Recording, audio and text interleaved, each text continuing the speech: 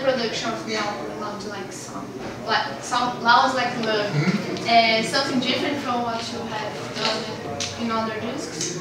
Yeah, I think so. You know, I mean, it was um, each time going into the studio, try to to react to this the, the previous record. So we go Battle for the Sun. What do we do in that one? All right, let's do something different. Battle for the Sun, big, heavy, loud drums, big, heavy, loud guitars. That was great. This time, let's simplify. Let's throw in some old, really old synths, like old school synths. Throw in some. Uh, really old guitars and stuff. Well, hey, let's mess with these electronics as well. Let's bring in an iPad. You know, Brian had his iPad, messing around, making all these cool little noises, and we take them, cut them up, and make little loops out of them.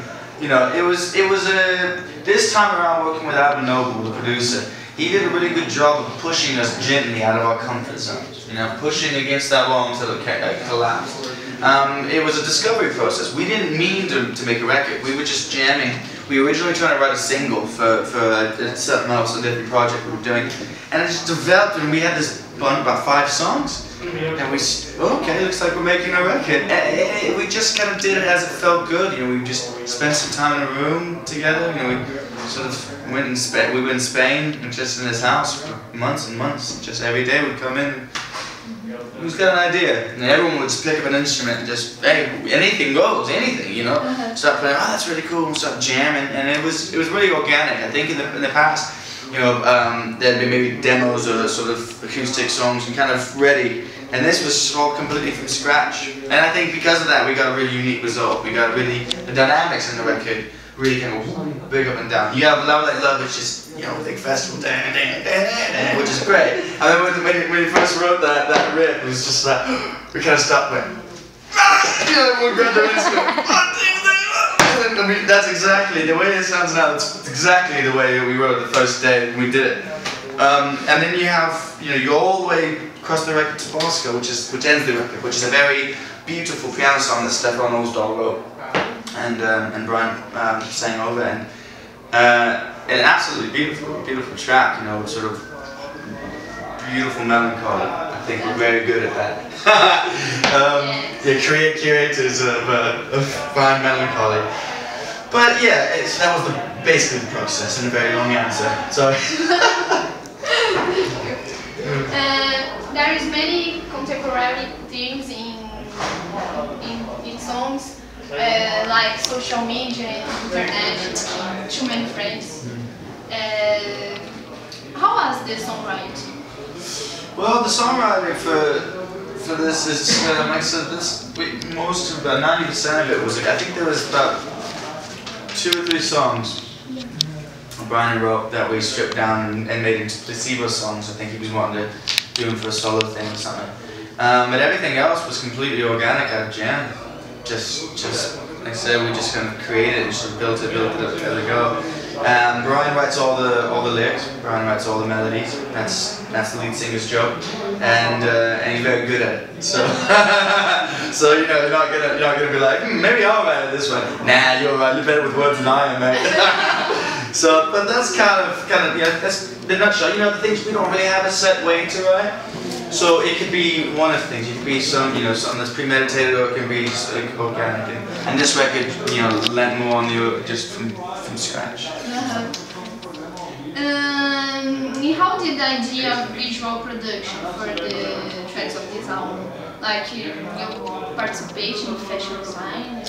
Yeah, you know, um, Ivan, who, who, who uh, is our, our sort of head of lights and stuff like that he comes up with these concepts, and he, he's a, he's a, just an absolute madman.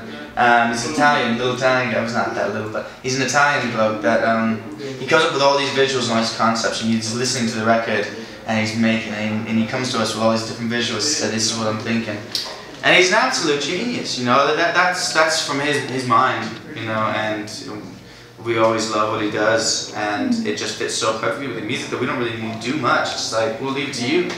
Um, because you know we are we're a band that loves presentation, very theatrical, um, and we love to give you a great record and give you a great show, and you know we're and play well and have visuals and lights and everything nice and just perfect. You know a very um, well-oiled machine, and, and the visuals are a big part of that. Visuals for the live show and the visuals for the, the record artwork as well.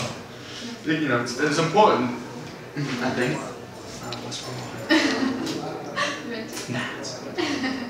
and you were in Brazil in two other opportunities.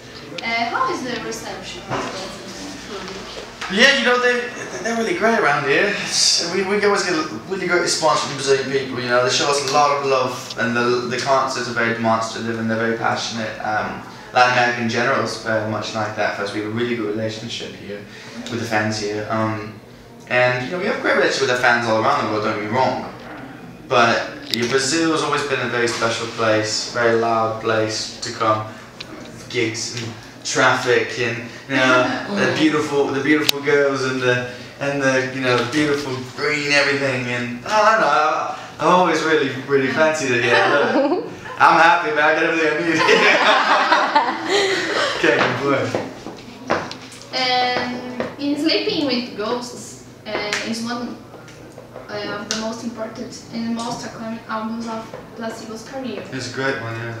And um, you try to somehow maintain a standard or a, a style since uh, I think, well, as I said earlier, you know, each record ends up being a, a reaction to the re previous one. And Sleeping with Ghosts is an amazing record, you know, and uh, but you can't write the same record twice, and you you shouldn't you shouldn't try. You know, if you're still doing the same songs in the same style 15 years later, uh, you know, 10 years later, so it's not really saying much about you, the creative person. People sometimes don't like change, and people, you know, and sometimes change doesn't always come out good. But I respect a band much more who's changing the sound. You know, Arctic Monkeys are one of those in the UK. A band called Arctic Monkeys. I'm not sure if, if, if you know, but they kind of went for this sort of um, very sort of indie Britpop, uh, uh, indie Brit rock type sound, jangly. And their sound really changed when Josh Homme came in and started producing. And I know, and I remember hearing a lot of people being really upset about that, and they didn't care, they just did their thing. And their records are brilliant, and, and they're a great band. I, I respect a band that, that evolves, Oh. um, and doesn't devolve. You know, you looking back to your older stuff and trying to write something like that, it, it, it's not really our style. You know, we, band, we're a band that always is looking forward, and, and because of this, I think we'll be able to make records better.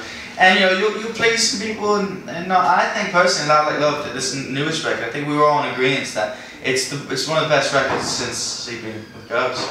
It's, it's I mean, it's one of you know personally our favorites. You know, we really, it's, it's my favorite record. Yeah.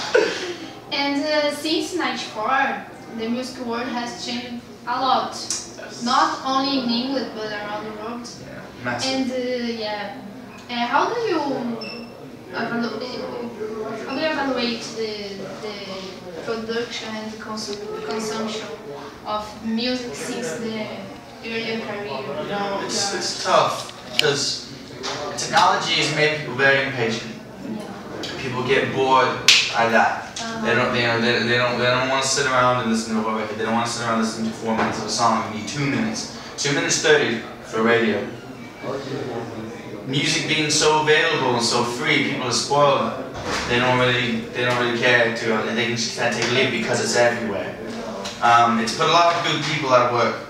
Put a lot of bands in the, in the, in dirt, and so a lot of labels. I'm talking about, I'm talking a fair bit about this tonight as well. And it's uh, it's really a shame. I miss the good old days. I'm I'm, I'm, an old soul, young bu- young body type thing, you know, and uh, and I just think that the good old days, you know, band goes makes a record, you go out, you buy that record, you go see them live, and that's how it works, and it world keeps turning. There's no money coming in. People can't make records. People can't have. They can't feed themselves or their family taking on second jobs. All the you know, bands are having. It's so normal for bands to have two or three different projects now. You know, I got two different projects. I know Brian works on other stuff. Stef has loads of other people and, and other bands do as well. And but you know, it's it's like they can say that and it's like say that used to be better, but it's just the world evolving and things Yeah. change. And I think you, you got to work with it. You got to start. You know, instead of just giving a record, you give it a record with all this extra stuff as well. And, you know, you tour for longer and you just adjust. You know, we were fortunate enough to, to the band was fortunate enough to start when it did. People were still buying records. So, you know, but if you're a young band starting fresh, good luck. You know, really good luck. Your music will get out there via internet and Spotify, fair enough, and things like that. But how many records do you? You know, how, how are you even going to be able to afford to tour? You may be able to fill those places, but you can't even afford to get a van because because everyone's just been getting music for free. Yeah, they know your song, but you ain't getting paid for it. You know, it is a it is a job. You wouldn't go to a bread maker and ask for a loaf of bread for free. So yeah, no, it's everything changes. But you just kind of roll with it, and that's the best way to be. Don't be. I find myself sometimes being very grumpy about it and very, you know, all this new stuff is shit, but it's not. It's not. Just life. it's the music industry. It changes all the time. So I bet you know it'll it'll come in circles. It'll revert back. It always does. They always find ways to make money. uh, trust that. Anyway, sorry, I digress. And uh, what bands stand out today in your opinion? Some new bands that stand out. Well, oh, Uh, any bands. Yeah. Well, um, my favorite band of all time is a band called The Walkmen. The Walkmen, um, they're from the United States, and it's just very honest music. I have every record, uh, but I'm the biggest fan. Uh, a band called Skaters, which is quite new. Their new record's fa- fantastic. There's a lot of great music coming out nowadays. It, it, the standard of music has gone up. The, the sales have gone down, but the quality has gone up. You know, you have a million bands, and they all sound great and write proper tunes. You know, back in the day, it was a bit, you know, selection, wasn't it? And you know, because everything's been done, now people are getting more creative, so that's wonderful. But you just think it's not the sales really. But there's a lot of bands that are potent. Uh, Death Cab for is amazing. Radiohead's always been amazing. Um, the Sigur, Sigur Ros's new record is brilliant. Daft, Daft Punk's new record is really good. Queens of the Stone Age, that's the band you gotta see live. They're really, really good. So these are some of the bands I think are great. So, you know, Break the Mold, you know, Arctic Monkeys, another great band, really great live, great records. People that make music properly because they love it, not because they're trying to make a product for something stupid. You know what I mean? I'm not a big fan of auto of auto-tuned pop. That stuff for me is killing the industry. So that's what I that's that's what I think. You asked. Sorry, I didn't mean to be too mean there. Sorry. And what about Brazilian music? Do you know some band? Do you like? Um, I know Soulfly and Sepultura, which John was really opening up for. That was pretty cool because Sepultura was like, you know, it was uh, other Brazilian Brazilian music.